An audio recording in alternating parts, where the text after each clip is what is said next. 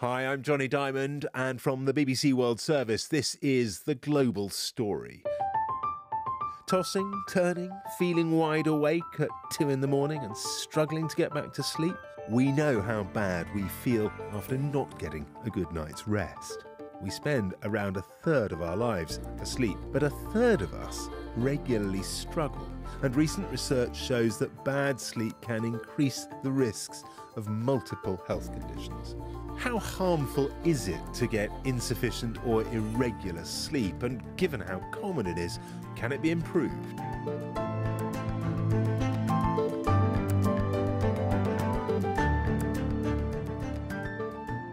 With me today is Russell Foster, Professor of Circadian Neuroscience at the University of Oxford. Hello, Jonny. Nice, nice to be with you. And Dr. Nerina Ramlakhan, a physiologist and author. Hello, Jonny. Lovely to be here. Let me start with the most important question of the day. Nerina, how did you sleep? Smugly, I have to say, I slept beautifully last night. I celebrate good nights of sleep uh, because for many decades I didn't sleep well. Russell, how did you sleep? Uh, actually, extremely well. I woke up once and then got straight back to sleep again, so all good. Two very smug guests in our studio, delighted with their sleep. Russell, you specialise in circadian rhythms. Uh, some Yeah. people uh, watching and listening may know what that is. Others will not. What are they? And and I suppose why are they so important? So, if we think about what our biology needs to do, it has to deliver the right stuff at the right concentration to the right tissues and organs at the right time of day. And what our circadian system allows us to do is give a time structure for our entire biology. And so, it's an internal representation of a day which is fine tuning every aspect of our physiology, every aspect of our biology to the varying demands of sleep and activity, consciousness, uh, uh, uh, and sleep. And the critical question, I suppose, well, for for ordinary punters like me, um, what does the clock recommend um, or mandate even as an optimal amount of sleep? I've often said that sleep is like shoe size. One size does not fit all.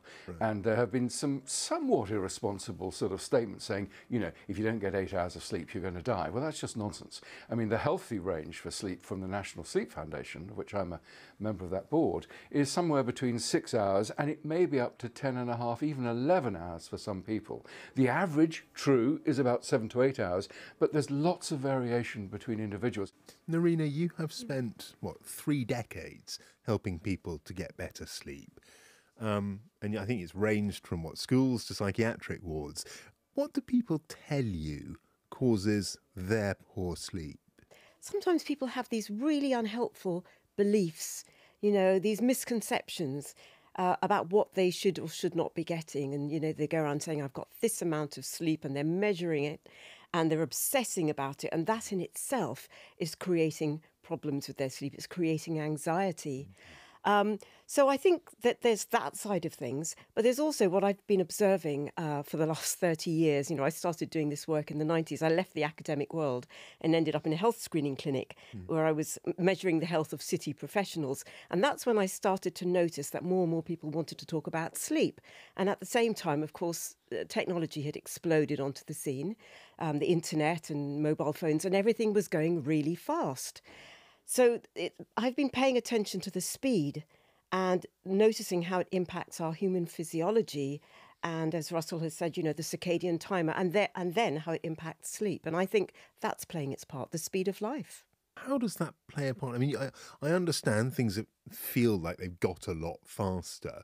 Does it mean, in your eyes, that we are unable to slow down into sleep because we are spending so much more of our lives in a sort of heightened state of existence? That's a very good way of putting it. Yes, um, we've certainly lost the ability to slow down.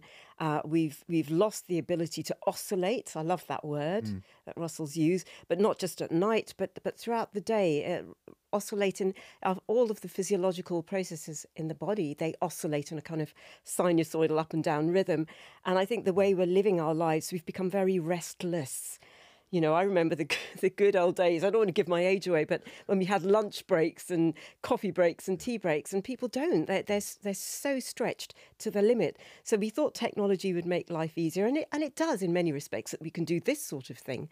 But it, it does mean that you know people are stretching themselves and often against the limits of their physiological cap- uh, capabilities. Nerina, you mentioned this sort of irony that people, some people at any rate, are now getting so anxious about sleep that it's affecting mm. their sleep.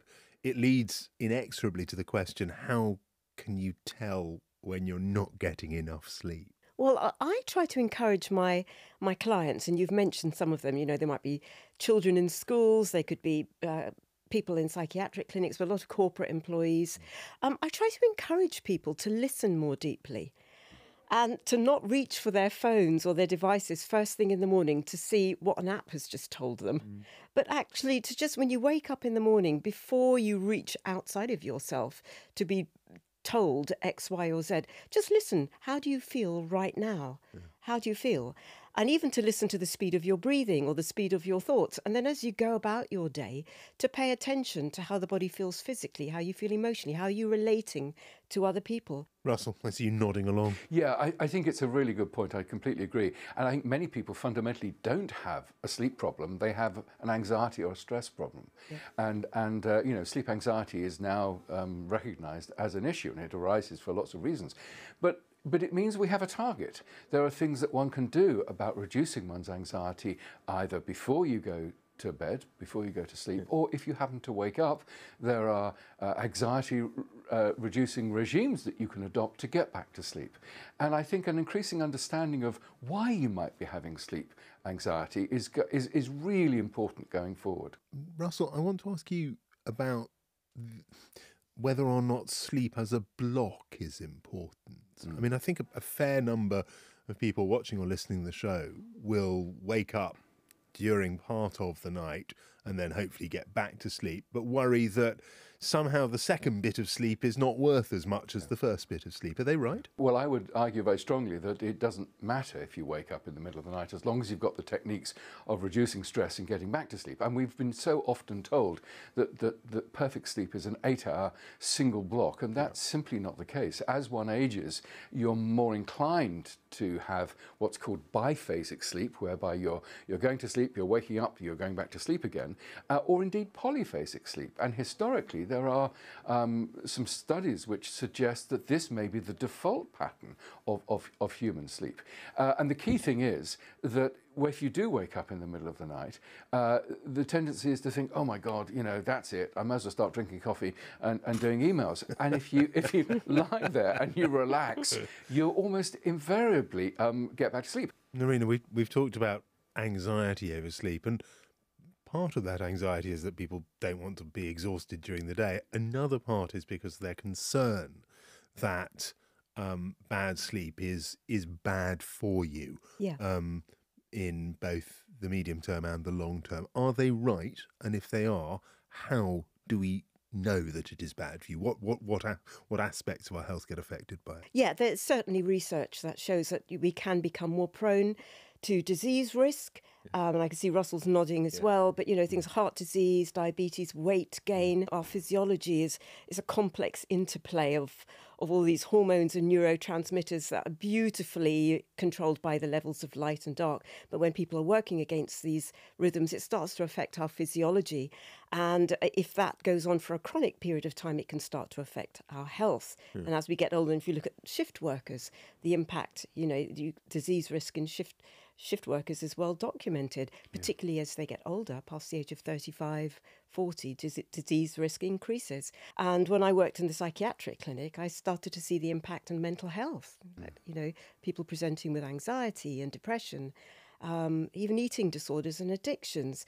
And the poor sleep is a, is kind of all wrapped up in there as well. Sleep is is the golden medicine, but it's also one of the things that can um, fall by the wayside if people are feeling unwell and mentally unwell. We produced a model, you know, a few years ago, suggesting that um, yes, at the core, there's an overlap between the fundamental mechanisms in the brain that are generating normal sleep and those that are generating normal mental health. I mean, key neurotransmitters. So that if you have a change in a neurotransmitter that predisposes you to a mental health condition, it's almost certainly going to have an impact um, at, on sleep at some level. Mm. But the key thing is the poor sleep, because of its impact on our cognition, our emotional responses, and our physiological responses, can make the mental health condition worse. And poor mental health can feed back and make the sleep worse. So we did some experiments a few years ago on individuals who were on the psychosis spectrum. This was led by Dan Freeman, whereby we were able to partially stabilize sleep. And what was so wonderful is that you were able to reduce the levels of paranoia and the hallucinatory experiences. So there's an absolute link between um, poor sleep um, and levels of, of, of mental health severity. Russell, what about mental degeneration? Because there has been talk of a link to dementia. I mean, there's been a long sort of correlation that poor sleep in the middle years is associated as a risk factor for dementia in the later years. And there's never been a really satisfactory explanation for that until recently. And there's been a recently discovered system within the brain called the glymphatic system, which clears out toxins and misfolded proteins one of which is beta amyloid and build-up of beta amyloid, which is like chewing gum sticking in cells and, and making them not work very well. And a build-up of beta amyloid has been associated, of course, with dementia and Alzheimer's. Now, the glymphatic system is turned on whilst we sleep and actually is clearing out some of those misfolded proteins and other toxins. And so it could be, and this is all correlation at the moment, mm. that poor sleep in the middle years affects the glymphatic system and that predisposes you to some of these um, uh, degenerative um, uh, condition. I want to turn, if I can, to um, the impact of I guess the, the both the lifestyles people lead and also where they live in terms of how much daylight they see. It's it's really about the impact, I guess, of less daylight upon people and whether it changes how much sleep they need or that they feel they need. Russell, has there been research into this? Yes, quite a bit. Uh, we've done some, and there are many labs mm. uh, around the world. Um, so, so basically, what the circadian system needs to be of any use at all is to set the internal clock to the external world. And the most important daily signal is the light dark cycle. And so morning exposure to light especially is really important in setting the clock. Nerina, how much have you worked with um, night shift workers and the impact that their work mm. has on their sleep patterns and their health? Quite a considerable amount actually. I've done quite a bit of work in the past with police services, right. Uh, other emergency services, um, hospital workers and yeah, helping them to manage those shifts and to manage their rest um, when they're working shifts and when they come off shifts. It's a it's a really important consideration because there are so many health implications of working shifts and missing out on those crucial kind of hours of sleep that they should be getting at night. I mean, is it as yeah. unhealthy as we are now led to believe? The, the levels of light and dark and the way that impacts the health, it impacts our physiology. And night shift workers, shift workers, are, are very prone to not just physical ailments, they can be prone to mental health, emotional, yes. and, and even the social implications. I think the divorce rate. Yeah, yeah. Um, in fact, I was married to a shift worker. Right. Was, Past tense. Was. Okay. Was. Um, but, you know, it, it has implications for yeah. health, relationships. And what's interesting, I think, is that the assumption by employers is that all the people will adapt to the night shift work, mm. and, and they don't. And the reason they don't is because of light. So yeah. they're under relatively dim light in the workplace at night, then we'll be exposed to natural light during the day, and the clock will always defer to the brighter light signal as being daytime, which it is. So, in a sense, what you're doing is, is having to override this entire biology saying you should be asleep.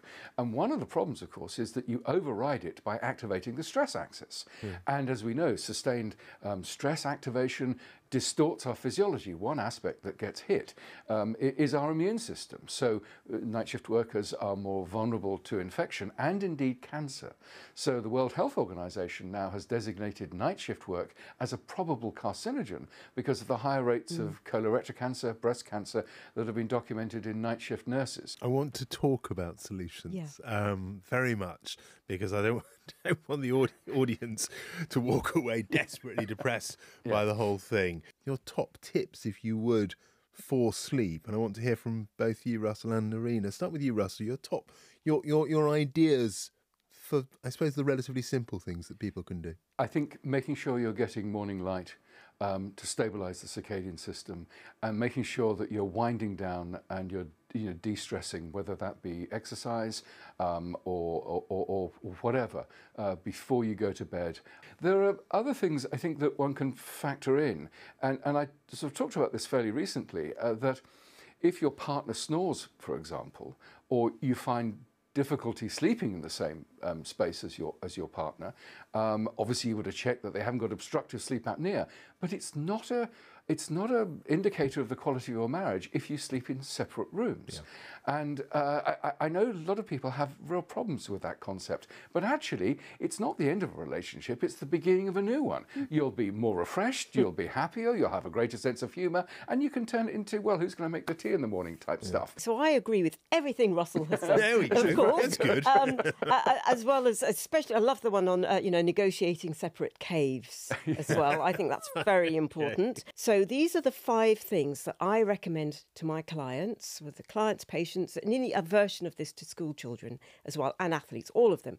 These five things, what they what they do, ten to fourteen days of doing these things, I have noticed they start to reset the nervous system from this highly activated stress side to this more restful um, sleep accessing part of the nervous system. Okay, have I sold it? No, you, I'm You're gasping smiling. for it. Now. I can't gasping. wait. okay, number one.